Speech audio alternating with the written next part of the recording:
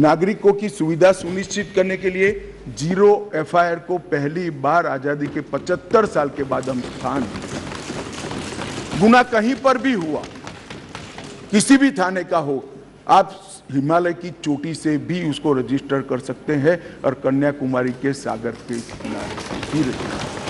गुना register होने के बाद 15 दिन में कंसर्न थाने को भेजना होगा। ई एफआईआर का प्रावधान हम पहली बार जोड़ रहे हैं। हर ज़िले में और हर थाने में एक ऐसा पुलिस अधिकारी नामित किया जाएगा जिसके परिवारजनों में गिरफ्तारी हुई है। इसको अधिकृत सर्टिफिकेट देना पड़ेगा कि आपके परिजन हमारी कस्टडी में है और इसके लिए अब हम, हम रिस्पॉन्सिबल कई बार पकड़कर पुलिस चार चार दिन तक कोई जवाब नहीं देती है मान्यवर और वहाँ पर उनको कोर्ट में जाना है।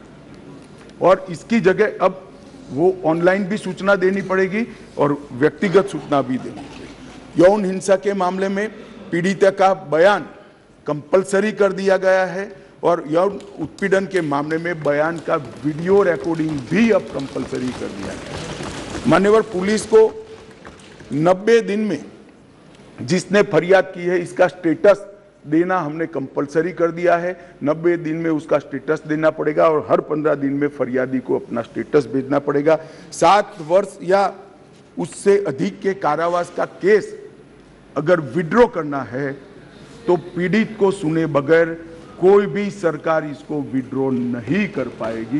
ये भी इससे नागरिकों के अधिकारों की रक्षा होगी और इसके अंदर पहली बार हम कम्युनिटी सर्विस को सजा के बारे में भी इंट्रोड्यूस कर रहे हैं मान्यवर। ये प्रैक्टिस में कई जगह पे है, परंतु इसका इंट्रोडक्शन एक्ट से, कानून से अब होगा। मान्यवर, सालों तक केस चलते नहीं है, इसके लिए भी हमने बहुत सारे प्रावधान करे हैं। छोटे मोटे मामलों में समरी ट्रायल का दायरा बढ़ा दिया है। समरी ट्रायल को बीस हज़ार तक की गुनाहों में ले लिया गया है और तीन साल तक की जिसमें सजा है वो सारे समरी ट्रायल से हो जाएँगे। इस इस एक ही प्रावधान से 40 प्रतिशत केसों कई सेशन कोर्ट से बाहर होकर नीचे ही समरी ट्रायल से समाप्त हो मान्यवर, आयोग आरोप पत्र दायर करने के लिए पुलिस अधिकारी आगे की जाँच चालू है आगे की जाँच चालू है आगे की जाँच छः छः साल अब नहीं कर पाएँगे। हमने तय कर दिया है कि 90 दिन में आरोप पत्र दायर करना ही पड़ेगा और कोर्ट भी उनको, कोर्ट भी उनको और 90 दिन की परिस्थिति देखकर परमिशन दे सकती है।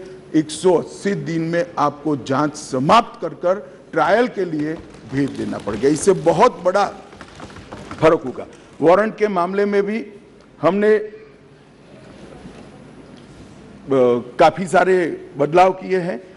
आरोपी व्यक्ति को आरोप तय करने की नोटिस साठ ही दिन में देने के लिए अब कोर्टें बाध्य हो जाएगी कोर्ट ने चार्ज फ्रेमिंग साठ दिन से ज़्यादा लंबा नहीं कर सकती। बहस पूरी होने के बाद तीसरी दिन में मान्यवर न्यायाधीश ने अपना फैसला देना पड़ेगा। अब तीन तीन साल तक फैसला पेंडिंग नहीं रख कई सारे जज ऐसे पूरी सुनवाई कर देते थे। और फिर बाद में ट्रांसफ़र हो जाती थी या रिटायर्ड कर जाते थे और ट्रायल फिर से चलती। अब ऐसा नहीं होगा। 90 दिन के 30 दिन के अंदर ही फैसला देना पड़ेगा। इसको भी हमने, और फैसले को सात दिन के अंदर ऑनलाइन उपलब्ध कराना पड़ेगा, जिससे इस पर अपील की कार्यवाही मान्यवर हो जाए